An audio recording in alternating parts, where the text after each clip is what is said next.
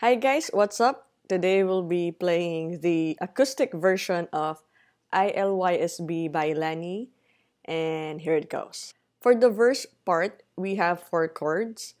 The first chord is a D. The second chord is a B minor.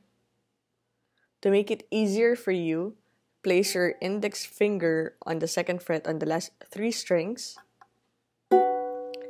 and your ring finger on the fourth fret on the top string.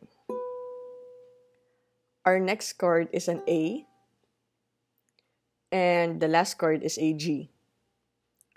For the first verse, you just need to repeat the D, B minor, A, G twice. For the plucking part, each chord has the same plucking pattern.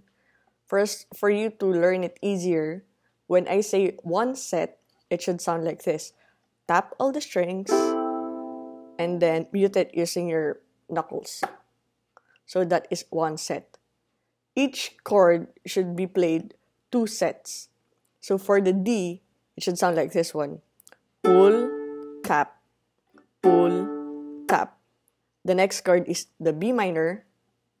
Pull, tap, pull, tap. Same, two sets.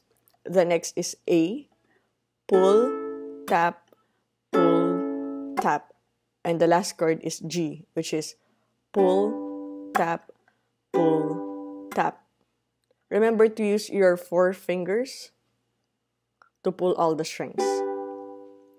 So for the D, B minor, A, and G, for the first verse part, you need to play it twice.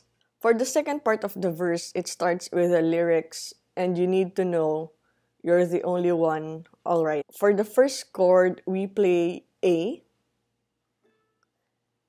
The second chord is B minor. The third chord is a G. So you just need to play A, B minor, G twice. It has the same plucking pattern with the first part of the verse, which is two sets of pull and tap, pull and tap. For the first chord of the chorus, it's a D. The second chord is a B minor. The third chord is an A. And the last chord is a G. So if we're going to play the chorus part, it should sound like this.